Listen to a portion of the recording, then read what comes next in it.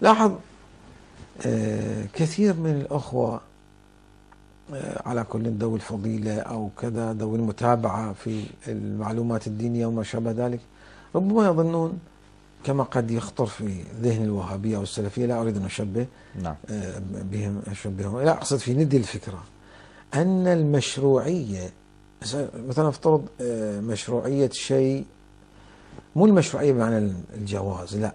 مقصودي يعني تقنين عنوان معين. افرض الشعيرة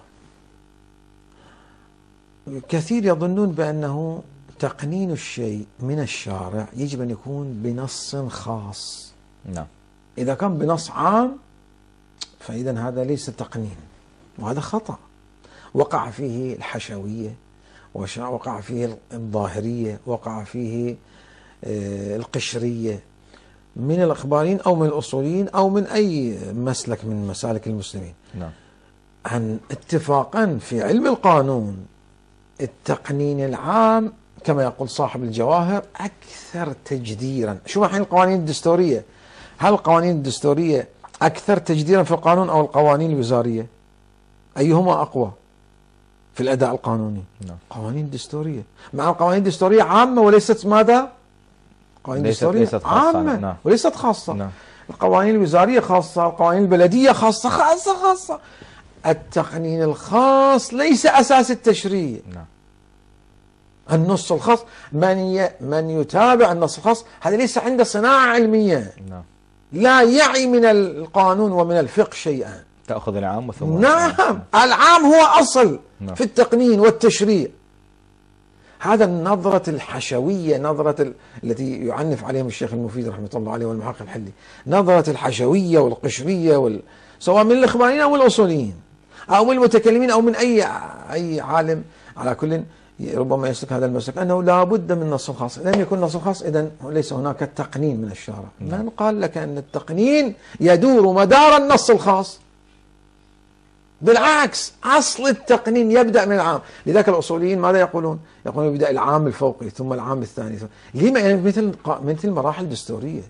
وبالله عليك هل أنت ترجح القانون الوزاري أو القانون البرلماني أو القانون البلدي على القانون الدستوري؟ ما يمكن. نعم. ذاك هو الجذر ذاك هو أساس. دستور الأصل نعم. لما ذاك يستوعب يستوعب كل المتغيرات هلم جرة إذا لدينا في التقنينات تارة قانون عام تارة قانون خاص. الشعيرة ليس هناك من دليل. طبعا لها شرائط الشعيرة أن يكون شيء مباح أن يكون آه، معلم وعلامة يتخذ معلم وعلامة لشيء مقدس ديني. الشيء الثالث أن يتعرفا رسميا يتخذ. حينئذ يصبح شعيرة نعم يصبح شعيرة للصلاة أو شعيرة الآن القبة القبة. في الم- عند المسلمين. شعيرة للمسجد. هذه لا لم يرد فيها نص خاص. نعم. جمعيات إسلامية لم يرد فيها نص خاص. مراكز إسلامية لم يرد فيها نص آليات كثيرة. أنشطة دينية. نقول هذه من سن سنة حسنة. كان له أجرها وأجر من عمل بها سنة حسنة يعني ماذا؟ يعني يطبق ذي العمومات. يبنيها يجذرها في المجتمع. طبعا تصبح تصبح عليها طابع ديني. كثير يقول إذا الدين يتسع. طبعا الدين يتسع. نعم. هو العمومات لأجل أن تغزو أطراف البشر حالات البشر. كثير يقول إذا سيتوسع الدين. طبعا الدين الدين الدين شرع لأن يتوسع. هو الذي أرسل رسوله بالهدى ودين الحق ليظهره على الدين كله ولو كره المشركون. تريد يضيق الدين في آلية خاصة وفي بقعة خاصة في تقوقع خاص. طبيعة الدين هو لأن يتوسع. فأقصد هذا عدم الالتفات إلى أن آه، التقنين أصله. صاحب الجواهر رحمة الله عليه. نعم. لاحظ حتى السيد الخوي رحمة الله عليه.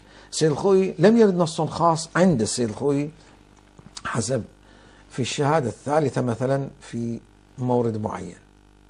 ولكن مع ذلك لأنه هو السيد الخوي قال. نعم. حتى السيد محسن الحكيم رحمة الله في المستمسك. وكثير من الفقهاء آنذاك قبل خمسين سنة قالوا أصبحت شعيرة للمذهب.